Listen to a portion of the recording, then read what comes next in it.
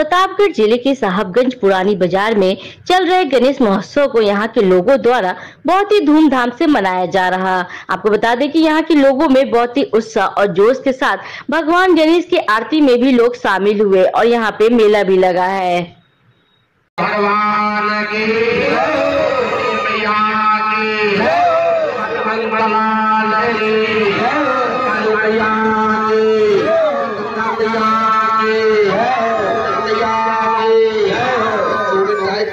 இருக்கு